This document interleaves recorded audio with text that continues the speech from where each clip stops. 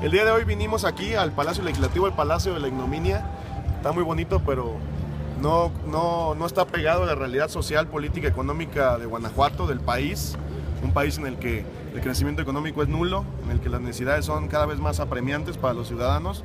No podemos hablar de un palacio legislativo para beneficio de los guanajuatenses. Además, como ya se ha polemizado días antes, el palacio legislativo parece una fortaleza, es de imposible o muy difícil acceso para el ciudadano de a pie. Ellos hablan de que es la casa del pueblo, yo quisiera ver aquí el pueblo liso y llano. Yo lo que vi ahí en la gran mayoría de los casos pues fue puro representante del régimen.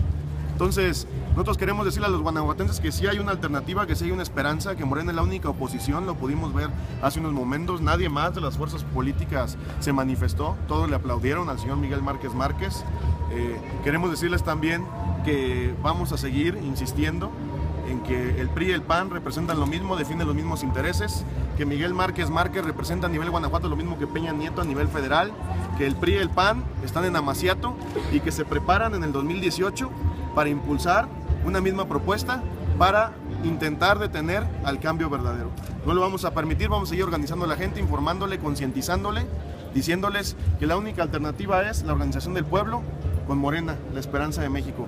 También queremos este, comentar de que en materia de inseguridad, pues Guanajuato es uno de los estados más inseguros, es la quinta entidad a nivel nacional en los últimos tiempos más insegura. Tenemos tres ciudades principales como Irapuato, Celaya y León en las 50 ciudades más peligrosas, más conflictivas del país. Si no me equivoco, León está en los primeros 10, yo creo que está en los primeros 5 desafortunadamente.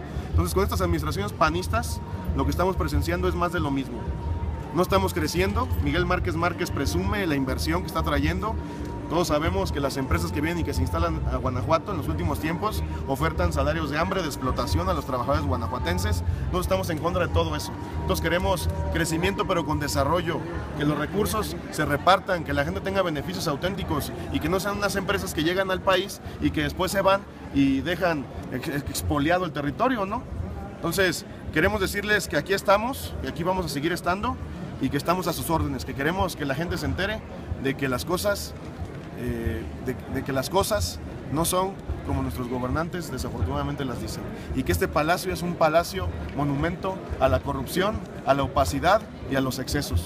Ahora, ¿qué tu opinión, de, Ernesto, de que el diputado de Morena solicitó una auditoría y fue rechazada por todas las fracciones? Por segunda vez, este, la mafia del poder, versión capítulo Guanajuato, se puso de acuerdo en el Congreso a través de sus representantes para impedir que los guanajuatenses tengamos conocimiento de qué pasó con el presupuesto y los recursos de este Palacio Legislativo, que inicialmente estaba presupuestado en aproximadamente 150 millones de pesos, 130 que ahorita ya costó casi 800. Entonces que nos expliquen el por qué costó más y a dónde se destinaron los recursos, a qué le tienen miedo. Si Miguel Márquez Márquez y la presidenta del Congreso habla de transparencia, de un gobierno de puertas abiertas, de que eh, es un palacio al servicio del pueblo, pues que nos informen, que empiecen con eso, que le permitan el acceso a la gente que piensa distinto a ellos y que también nos informen cuánto y a dónde se fue y cómo todos los recursos de este palacio, que es, vuelvo a repetir, un monumento a la corrupción, a la opacidad y al exceso. Ahora, tu opinión también, bueno, inician los trabajos legislativos, pero el Congreso no está terminado. Así es. Este, incluso ustedes se pudieron percatar que el sonido era muy malo. Este, estamos hablando de un tablero para que puedan votar electrónicamente los representantes populares que costó una millonada, cuando yo creo que con la manita y con la manifestación física de la voluntad de las personas se puede llegar, se va a llevar a cabo. Este, pues es el, es el, es el ejemplo de estas administraciones.